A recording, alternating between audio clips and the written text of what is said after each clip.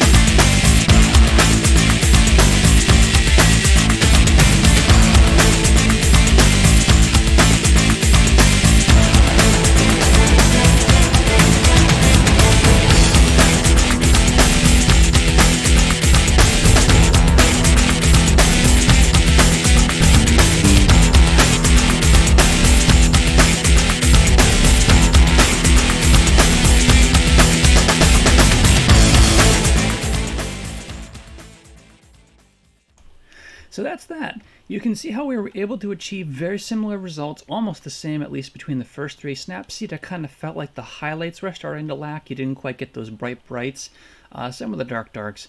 But by and large, you got really, really close. And really what you do with these programs when you're working on pictures is those those are the starting places that I'd always suggest. We've talked about this before, but those are really kind of the starting ground of where you'd start doing the photo alteration, maybe some of the cleanup, and then as you progress through the image, I would say finish up in a tool like RawTherapee or Darktable. I've done reviews in those. Go check them out. If this was helpful to you, please give me a thumbs up to let me know that it spoke to you in some way. Please consider subscribing so you don't miss out on the awesome things that we're going to be covering and things that we have done. And also, leave a comment. Join the conversation. Let's help each other. Let's continue to build this fantastic community of learners that so many have joined into, and I look forward to seeing you in future videos. Thank you so much.